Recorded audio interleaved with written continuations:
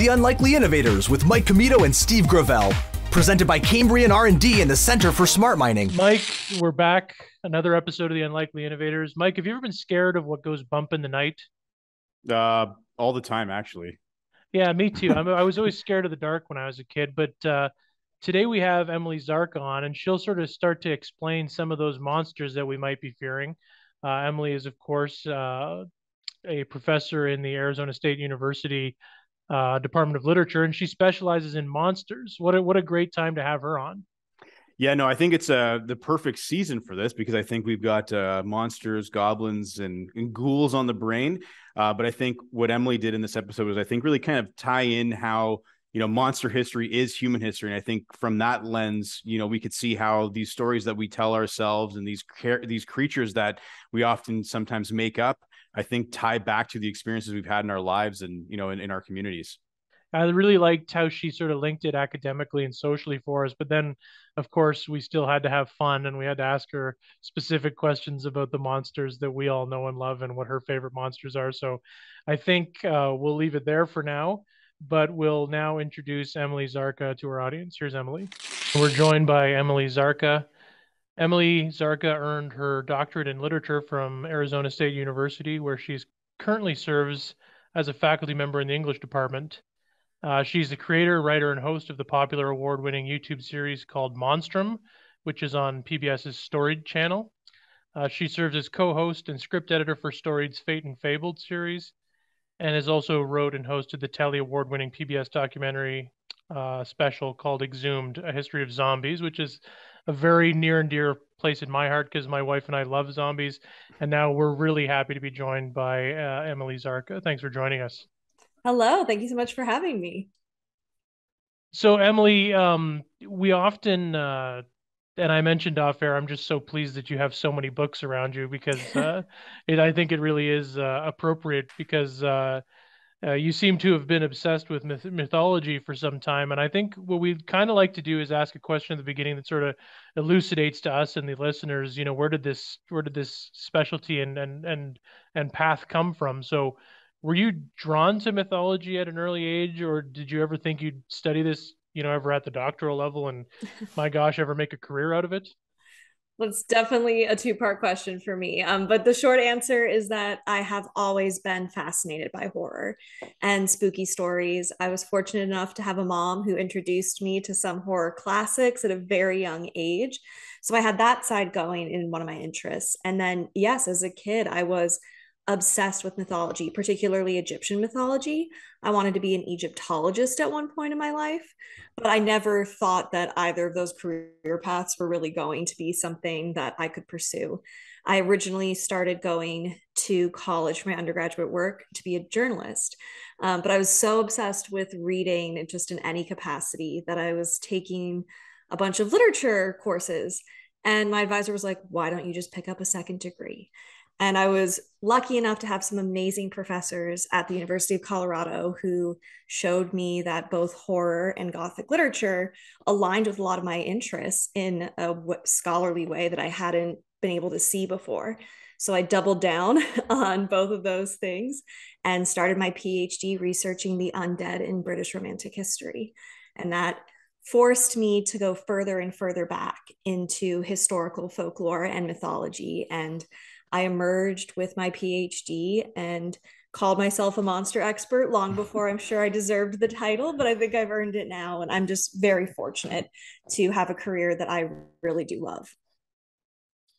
Well, I was going to say I, I am still also admiring your your bookshelf behind you. I'm at the point in in my marriage where my wife has has asked me to donate the books that no longer fit on the shelf and have been into overflow. But I uh, I'm I'm trying to keep them, so I'm thinking about other ways that I could build more shelving to try to have everything on display and out of the yes, you can't areas. get rid of them. I call them my book children. I've had some of these books since I was in middle school, um, and I always cart them around with me wherever I live. So I'm very fortunate to have a large enough library to house all of them. But there are ways we can talk.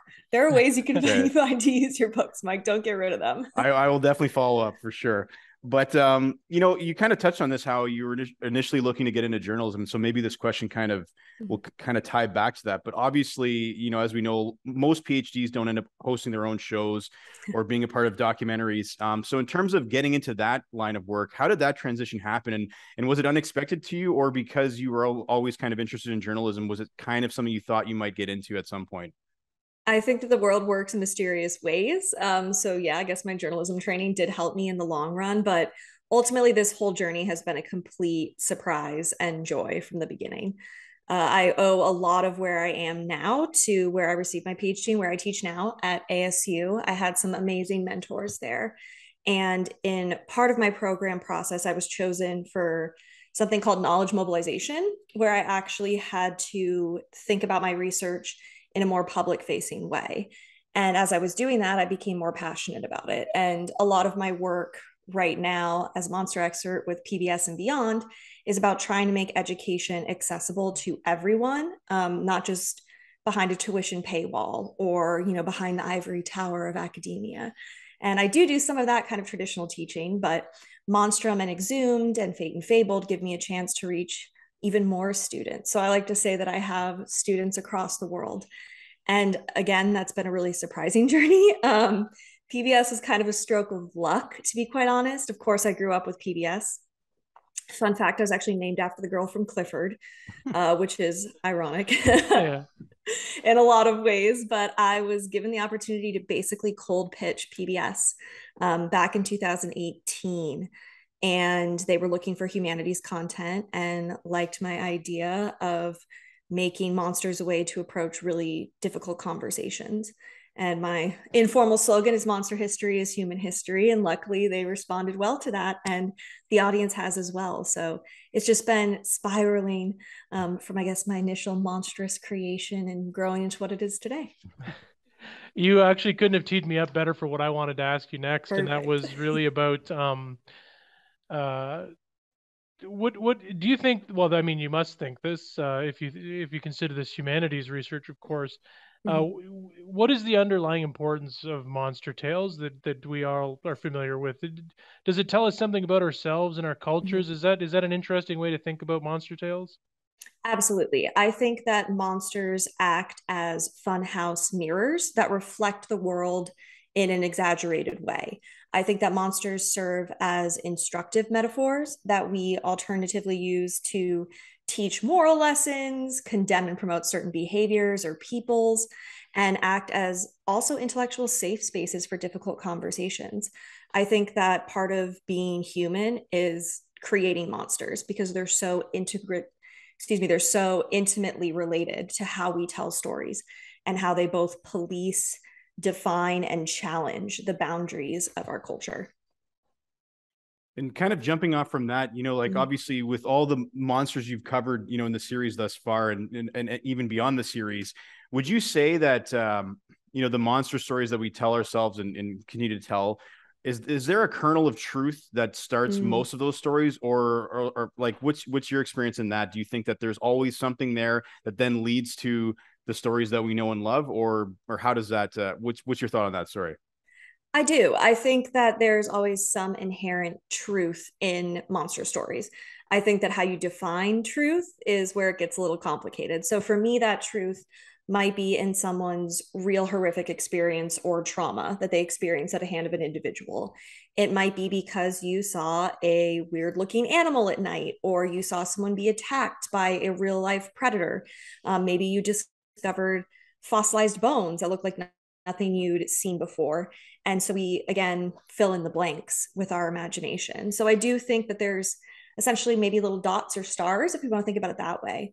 And monsters help form the constellations that allow us to create these narrative myths. And in doing that, allow us to share stories more readily. Because, of course, it's easier to look at the sky and draw someone's attention to a singular image or object than it is to try to point out every single individual star.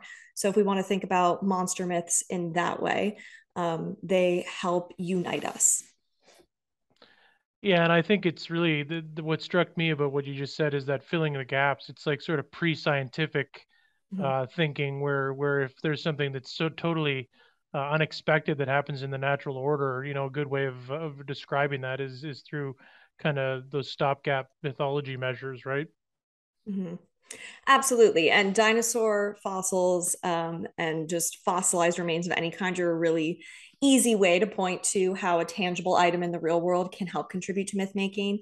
I mean, there have been stories of things like woolly mammoth skulls that people thought resembled dragon heads or you know deep sea creatures that look like a different kind of dragon or a griffin or um, you know real life pits where multiple animal bones were fossilized together. And how do you explain a wing and also a tiger claw? You're going to make some kind of chimera to maybe explain that. But i do think we can't just look at the science elements and we can't just attribute all monster phenomenology to that. Again it's just one point in the larger constellation um, I do think that we've seen monsters change over time since we have become more well versed in science and technology. But I think really interestingly, and digital folklore is a place where this is happening quite readily. There's almost a return to what I like to call uneasy nostalgia, where we're making newer monsters that speak to how scared we are, perhaps at the uncertainty of our world, and maybe longing for when monsters could be a little more ambiguous, shall I say. I just thought of like 60 things more that I wanted to ask you. And I think our listeners are going to want us to ask you to get specific on some monsters. Um, but but uh, one thing, uh, there's a couple things I want to say first. I want to go back to ASU for a second, if I mm-hmm. could. And um, ASU seems to be pretty well known for its, uh, um, and I don't know enough about ASU to, to know if this is on purpose, but about science communication and about mm-hmm. uh, research communication I'm a fan of uh, what Lawrence Krauss is doing with the Origins uh, series that, that mm-hmm. he had done in the past. Uh, is is that on purpose? I mean, ASU seems to be really, uh, really, you know, public facing with a lot of its research communication. It is. ASU is forward thinking in how it is trying to approach learning and education and how it positions its faculty members. Uh, that being said, I do occupy a very niche section of that. So it's not like it's a perfect environment. And again, this is not necessarily endemic to ASU, but first of all, I'm a humanities scholar. So I automatically get less funding and frankly less respect in a lot of ways. And there are some people, including at ASU and our great humanities dean, uh, Dr. Cohen, who is working actively to try to fight that stigma. But I also do literature and I also do monsters. So I'm sort of the weird one um, on the faculty in a lot of ways, which I embrace. And I'm again happy to be with ASU and to continue to teach at that level. But it, there's definitely pushback. And again, not just at ASU, I think from a lot more traditional scholars who see all public humanities work as maybe being taboo or not as quote unquote valid or rigorous. Where frankly, the kind of research that I'm doing for my Monstrum scripts, because I do research and write every single one, is the exact same kind of archival, historical, critical reading that I would be doing for an academic monograph. I mean, there's no difference to me. I use the exact same skills. And I just hope that my work uh, maybe gives new scholars or an upcoming scholars way to think about how our skills can be used outside of the university. I was going to ask you a question uh, about if you could comment on the increased popularity lately of these cryptozoology shows. Um, maybe if you want to just pause there, and then I want to ask you a, a, more specific question about what what kind of monsters you like. But um, why do you think it is that like Discovery and other shows have like these, pardon the term, like bullshit shows where like they're going to look for like the skunk ape and the, mm-hmm. you know, is there a reason why that's in in vogue again now? I do think so. And I think that it's never, I'm, i apologize for my bird. I'm sorry. I think it's great. Yeah. She's yeah. on one right now. So sorry. um, but bird aside, I'm also a crazy yeah. bird lady. That's part of the other facet of my personality. Yeah. Um, I think that the return to this desire in cryptozoology, like you said in particular, because for me, the distinction between folklore studies, maybe, and cryptozoology or monster studies is that people believe them to be real and want them to be real.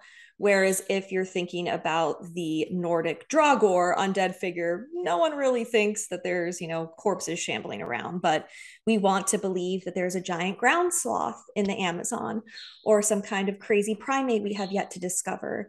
That could be Yeti or Bigfoot. And I think it's that discovery element, um, ironically, that makes us really appreciate those sort of Bigfoot hunt or ancient aliens type stories. I think that again, as our world becomes increasingly more knowledgeable as a whole, and we are essentially collecting more and more data from all aspects of our environment, that we want mystery. We want there to still be something to discover. And I think we see this in a desire to go to other planets as well. Um, there's mm-hmm. practical reasons for that, and there's sort of fantastical, imaginary reasons for that. I think that humans like to classify things and add categories and labels to things. So I think that you want to be the first one to discover Bigfoot, right? I mean, that's mm-hmm. part of the appeal. So I think that it really speaks to this inherent nature that humans have of looking for new answers because new questions um, evolve from seeking out those answers. Yeah, I find I watch those shows even though I, you know, I was going to say I'm sure nonsense. you watch them, Steve. Yeah, yeah, no, I definitely do. Um, so uh, you're ASU's uh, official monster expert. Which of the monsters out there uh, in history are you most drawn to? You mentioned Egypt early on, but is there any? If we could force you to be specific, and I think some of our subsequent subsequent questions will also get there too. Perfect. I mean, my favorite category of monster is the undead overall. I love a good reanimated corpse of any kind. if it's vampiric and blood sucking, if it's viscera eating, if it's just, you know, coming out of its tomb to create a little bit of chaos and stomp on your roof, what have you. I think that the idea of the reanimated corpse is fascinating and quite frankly universal. Um, in my research, every culture that buries their dead also has some kind of reanimated corpse monster myth associated with it. And again, I think that speaks to a fear of death, but also a fear of what happens after death. And what I find really intriguing about the undead of all kinds is that we're literally a heartbeat away from becoming them. And again, this changes, of course, with different zombie and vampire traditions and what have you, but I think there's something really interesting about how we as a human species have created this nearly universal figure. I'm a huge Walking Dead fan and yeah. uh, all zombie movies. Uh, before Walking Dead, my, my friends and I used to have like Zombie Fest at our house where Love. we'd often watch zombie films. All you know, going back to like the sort of e- the classical zombie, the Egypt sort of zombie Walking Dead type mm. folks, all the way now to like the uh, 28 days later fast running zombies. So I'm I'm definitely with you there. Yeah, and actually, Monstrum has an episode. I'll tease this a little bit uh, coming up about the idea of the reanimated mummy, because that's actually not something that the Egyptians believed in. Um, quite the opposite, in fact. They would actually do things to stop the physical corpse from rising. It was all about life after death for the soul. Uh, so stay tuned to learn more about that. But I'm with you with zombies. And again, I think part of my attraction to the undead is those were some of my for, first horror movies. Yeah, yeah. Um, some of the first movies I ever remember watching were Night of the Living Dead, Salem's Lot, The mm. Lost Boys. So I think that it's sort of this like mythical giant in my own personal monster history would be vampires and zombies. I think Pet Sematary was the first movie that I watched as a kid that was like a problem for me at night. Um, I think I remember my parents being like, "This was a mistake to have let you watch that."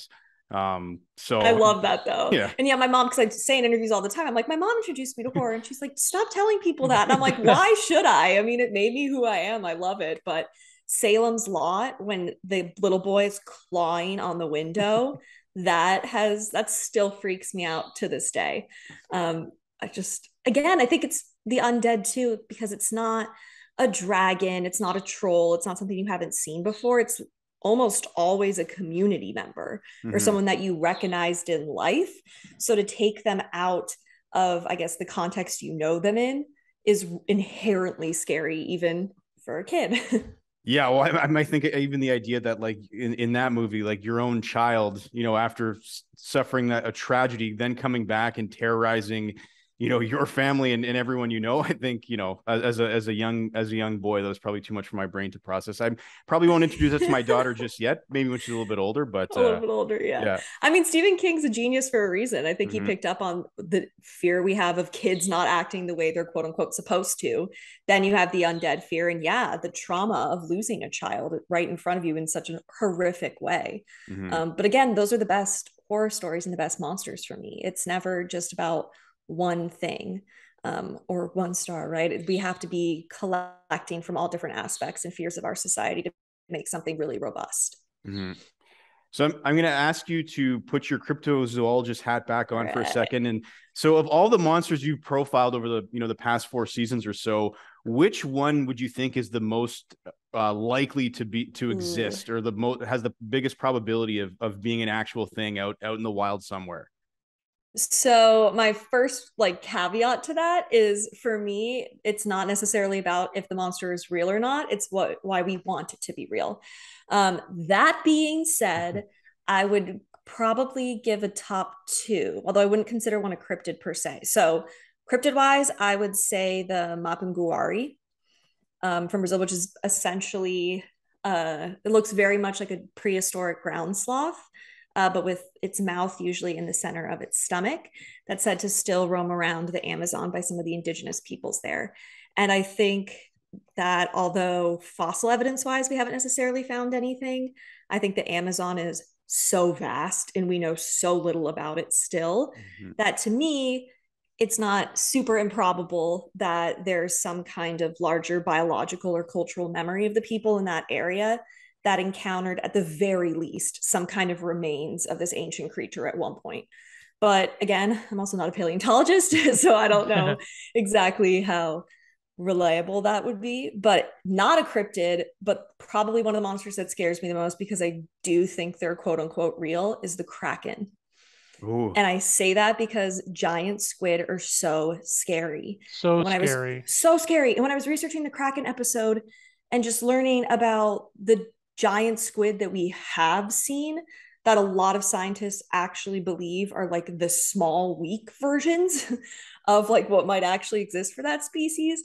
I totally believe there are giant squid creeping around near the bottom of our ocean and that terrifies me.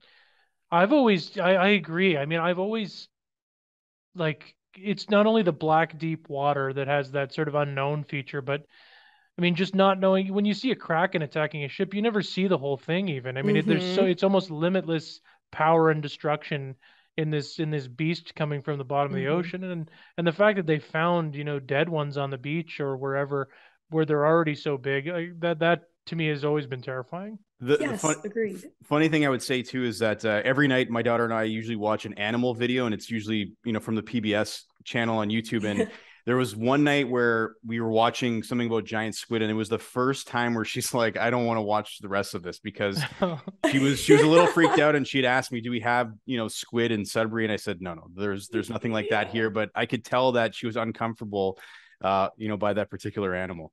Because it's just close enough to reality again. Yeah. i mean it not that these giant squid are attacking ships in like present day or maybe it didn't even happen in the past but the fact that they I think a lot of the fear of ocean type monsters comes from how inherently scary deep water is. Mm-hmm. And again, mm-hmm. Steve, like you were saying, it's not just the vastness and the darkness and the inability to see underneath the surface really clearly. It's that the stuff that we do have from the ocean looks so alien. Mm-hmm. It's so other and so bizarre. And yeah, squids and octopi are so crazy and they like have beaks, but also they don't. and like all the tentacles and the suckers. Suction and there's cups, some. Uh... Yes, and some giant squid, like some giant squid species, literally have like hooks, barbs on their suckers, which is also crazy. And I think just nature is wild and giant squid fit into maybe some of its more bizarre elements for me so yeah of course we're going to make that into a monster that makes total sense yeah Steve, yeah steve's going to roll his eyes right now emily but you you said you liked a good tangent so i was yes. just wondering if, if you were aware that the kraken will be coming to asu this year because the Arizona Coyotes I are am. playing on campus. So there'll probably yes. be at least one or two games where the Kraken will be there. I got so many tweets when I was at Washington changed their name um, or wherever, whatever hockey team it is, to the Seattle. Kraken. Seattle, yeah, Seattle, Seattle. yeah. Yeah, I was, which I mean, not a bad choice. Powerful sea monster.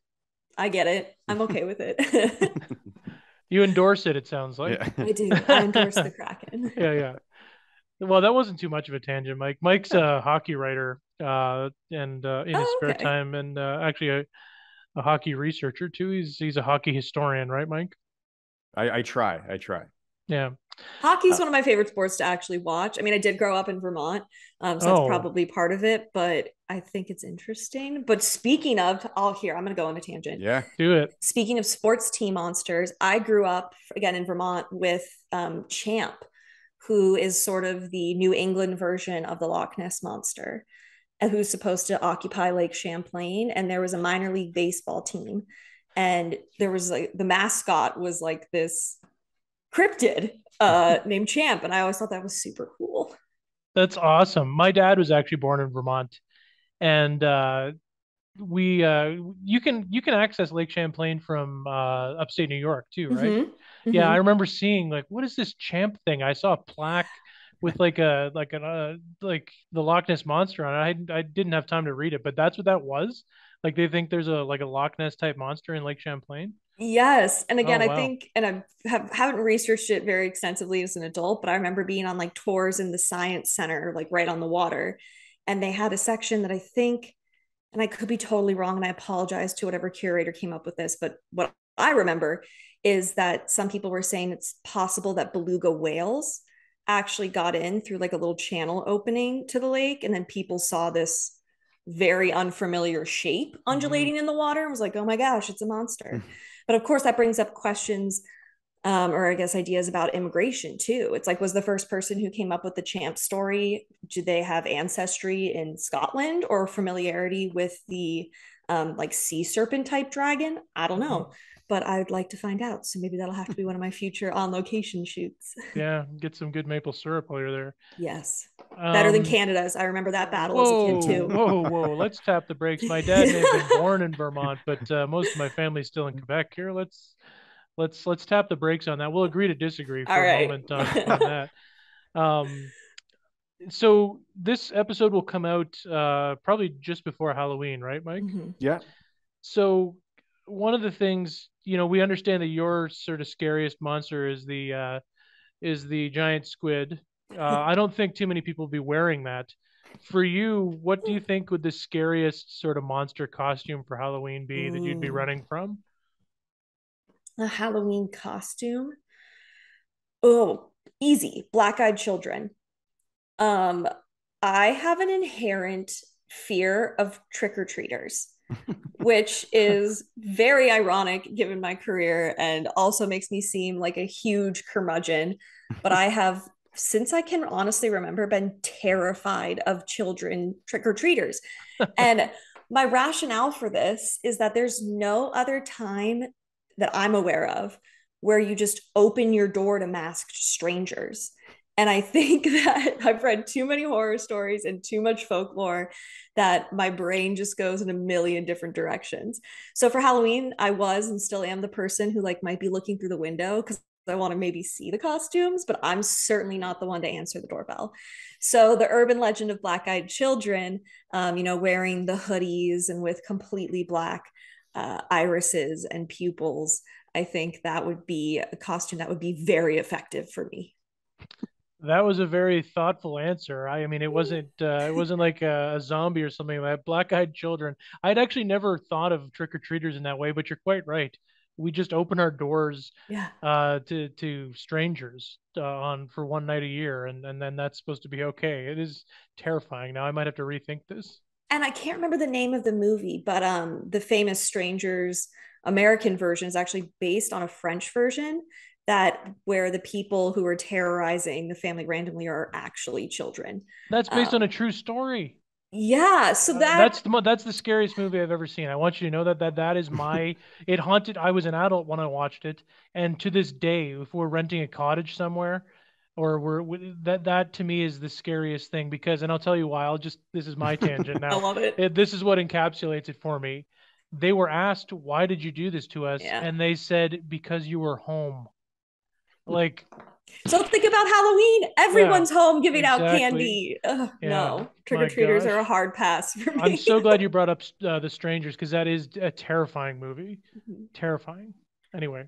This is making me think now that when we were younger, my mom had a rule on Halloween that like there was we couldn't wear masks. We could have makeup, but she wouldn't let us wear masks. And maybe it's because of that, but I also think maybe she thought from a safety perspective, if you had a mask on, you may not be able to see as well. But yes. I, I, remember the first mask I was ever able to get was like the mask um, from R.L. Stine's The Haunted Mask book after the Ooh. series was adapted, yeah. and that was the first time. I think it was probably I don't know ten or eleven, but uh, all those years before that, no masks.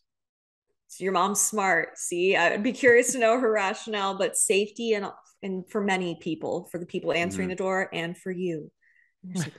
well, she definitely listens to this podcast, so I'm sure we will hear uh, hear why she she had that rationale uh, once this airs. But uh, love it. I, I, did want to ask you a question, just because it's it's rare that I would get to bring this up. But uh, mm-hmm. there's an obscure there was an obscure Canadian punk band from Calgary, Alberta called Chixdiggit, um, okay. and they had a song called Chupacabra. Have you ever heard that song?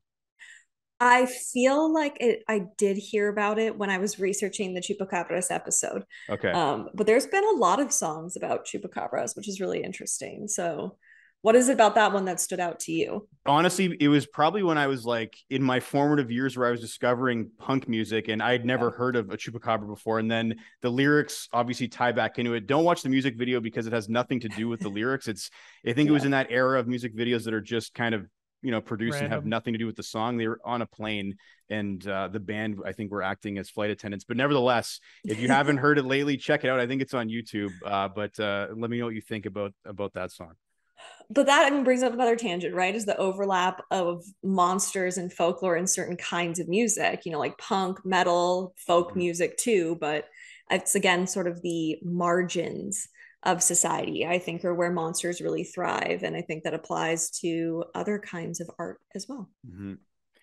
And Emily, you've been so generous for your time, but before you know we let you go, we've just we spent you know roughly the last half hour you know talking about monsters and, and zombies and things like that. Do you ever pinch yourself and say like, I can't believe I get to do this for a living and, and talk about this, or does that ever come up for you? Honestly, all the time. um, if you had told me 10 years ago or even five years ago that this would be the journey that I get to be on right now, I would frankly not believe you. I just, again, get to absorb myself in what I truly love to do the most, which is research and write. And not only that, research and write about horror and monsters and folklore. And it is a surreal journey in so many ways. So, yes, it does feel like a dream, not a nightmare, but either way, I'm very grateful. Well, I think, uh, gosh, I have so many more questions, but I think we'll we'll leave. Maybe you'll be our first return guest ever. But I would um, love that. but um, uh, Emily Zarka, thanks so much for joining us, uh, Mike and I, on the Unlikely Innovators today. And uh, we think this is this was a, a great discussion, and we just really thank you for your time. Thank you so much for having me. I'd love to be back. Well, that was a great chat, Steve. I know that we could have, uh, I think you would have liked to keep her on a little bit longer for all the monster zombie questions that I'm sure you had. But I think to your point, you know, we haven't had a recurring guest yet, but I think uh, I think there's a lot more ground to cover because again, I, I we held back. Uh, I think I could have gone on further with the Kraken. I didn't share that when I was younger. There was a movie, a, I think it was a made-for-TV movie about this crew that was attacked by a giant squid, and I was I was terrified of that because of it. You know, sharks are one thing, but like I don't know, you just like you're not reasoning with a shark either, but you're definitely not reasoning with like something that has a beak but also claws within its tentacles like in the suction cups like there's all sorts of it's things that i just can't i can't reason with. So yeah. um but i i did want to share that. It's it's funny because you know emily talked about you know kind of her unlikely journey although i think she was always drawn you know to the to the world that she currently studies in. Um, but the the way that I came across Emily was actually because, as I mentioned in the episode, like Zoe and I watch a, a brief like animal uh, video before before she goes to bed after we've read some books and we are usually watching something on BBC or PBS and after mm. one of our PBS videos it like suggested do you want to watch, you know, Monstrum? And I'd never heard about it before. And I think we got a little bit into it. And I said, you know what? You're about to go to bed. Let's let's park this. I think we could definitely revisit this, but maybe not before I close the door and shut shut off the lights. Maybe that's a lunchtime ritual to watch uh, yeah. Right? yeah, just for your own sleep, Mike. Just think about uh, think about the children. But yeah. um, but yeah, no, just super great time. Really cool insights. Uh, I think I never had until she mentioned it. I never thought about how much I thought like like sea dwelling creatures were scary. That those were never the monsters I was scared of. Um, I was always scared of like aliens and like alien abduction, and I'm sure there's a whole psychological reason why that particularly, uh, you know, didn't appeal to me in that way. Uh, but what monsters were you super scared of that you can think of when you were a kid? Well, I mean, I definitely watched Pet Sematary too early, and then so I was afraid of that. But then I was also what I didn't share with Emily was that like as much as Pet Sematary scared me, the one of the characters, the wife's sister, had spinal meningitis, and the way that they had portrayed it in the movie it was obviously not what spinal meningitis looks like, but that I was scared of getting that because of how the sister Zelda looked. So that was haunting. um, so I, you know, she's not a monster. She was suffering from an illness. So I don't know if that's the monster I was worried about. But what I would say when I was when I was younger, um, you know, I it was I think it was aliens as well though, because I think, you know, you and I are obviously the same age. And when X Files came out, oh, like you know, you're like say, eight eight years old. So then all when, of a sudden, like sister you're now worried about yeah. the guy who like is able to like slide his way through vents and feast on human livers and, and things like this. Like that became you know, part of my zeitgeist. And I definitely remember at night thinking, you know, any light that I saw outside the window that was irregular to me, that's a spaceship. There's aliens yeah, coming, yeah. right? But it was probably just a car driving by or a sirens from a fire truck or something. Who knows, right? But we should have asked her about the X Files. She seems to be around the same age as we are. I'm sure she I'm sure she was aware of X Files growing up. And you, too. you know, we didn't ask her about either, and I kind of alluded to it, but was just like, did she read? Did she read Goosebumps? Oh yeah, because yeah. that's another one where I was admiring her book collection. She said she still had all her books from even middle school, and I, I kicked myself that I don't have that Goosebumps collection when I was a kid because yeah, yeah. I would love to be able to go back and kind of flip through those books because I, you know, spent they summers might, Mike, reading those. Mike, Mike, don't meet your heroes. They might not hold up. Yeah, you're right. It, yeah. Well, that's that was a I had a story idea where what if you know if if some you know publication allowed me to do this where I reread all of those Goosebumps books in a single summer and then offered up my thoughts on what it was like reading those books now with the eyes of a 37 year old and not a bright eyed eight year old, right? And uh, did did you actually pitch that to anyone? I did, and they of course uh, declined. So, well, I mean, uh, there's a there's a lot of self-publishing avenues now. So that's true. I mean, if it is something I really want to do, there's a mechanism to do it. But yeah, think, answering uh... the question that no one asked, Mike Commito. anyway, it was great to have Emily on, and uh, we'll wrap this up now. But uh, thanks to her, and I mean, just the X Files and R.L. Stine questions alone is enough to have her back. I would think so. But before we do uh, close off this episode, because you're going to be listening to this, dear listener, you know, right before Halloween. Um, Steve, what was your as a kid or even as an adult now who's you know partaking in in the in the Halloween candy you know that your nephew's bringing home um yeah. what's your number one treat on Halloween if you could yeah oh man you know did you notice let me ask you this back I will answer your question uh, as it was posed to me but did you notice that there was a time when there wasn't individual small can like small chocolate bars. There was a time before that where there was a lot of like suckers, mm-hmm. the uh, the uh, really rockets. annoying candy corn, the rockets. Um, I, I, will give you a bit. This is a non-typical, but when I was young, uh, my aunt ran a restaurant and corner store in Estaire, a very small place outside of Sudbury here in, in Ontario, and uh, she would often have handmade candy apples. Oh yeah. Uh, the red ones, not the caramel ones. Yeah. And uh, that would probably be the highlight. We'd always stop there, the last stop on the way back, and those were by far my favorite Halloween candies. What about yeah. you? Um, honestly, like, because I, I, I think for me it was always just like the little Mars bars. Oh, like yeah. that's like that's probably my top tier of candies.